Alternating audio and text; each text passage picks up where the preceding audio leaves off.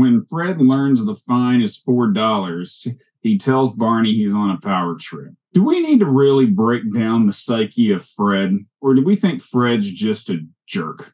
Yeah, he's just a, uh, a, a bad person. Doesn't have a lot of ways to express his emotion. Time and time again, played by the same actor. Time and time again, Barney is in the right. Fred says he's he's on a power trip, and he tells Barney he's going to beat him to a pulp the next time he sees him without his uniform.